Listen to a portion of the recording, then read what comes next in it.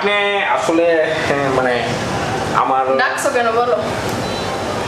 ভাবি আপনি আমাকে তুমি করে ডাকতেছেন। না সমস্যা নেই।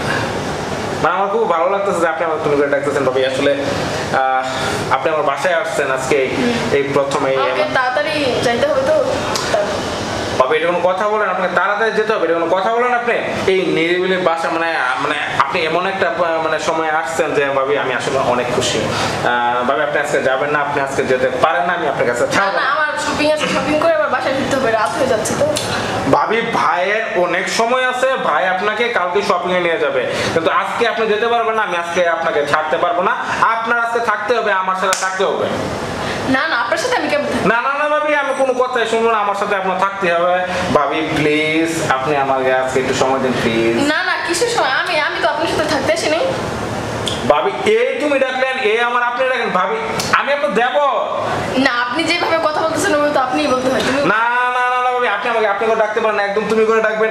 আমি আপনাকে তুমি করে ডাকবো আপনি আমাকে তুমি করে ডাকবেন। তুমি সম্পর্ক আমাদের মাঝখানে।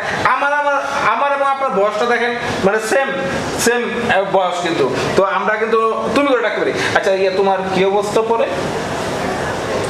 তো আপনি আমাকে তুমি করে ডাকেন একটু দেখি ট্রাই করি একটু ট্রাই করি ট্রাই করি। হ্যাঁ ভালো অবস্থা বলো বলো কি বলব তাদের? গুড ভাবি আজকে আমি আপনাদের ছাড়তে পারব না।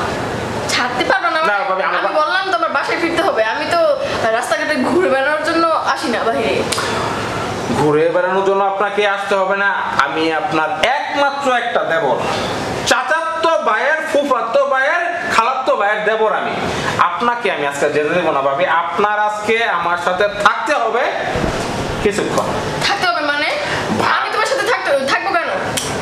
ভাবি থাকতে হবে এটা জানি থাকতে হবে। আমি আপনাকে ছাড়তে পারব না তোমাকে ছাড়তে পারব না। এটা কোন ধরনের কথা? থাকতে হবে আমার সাথে?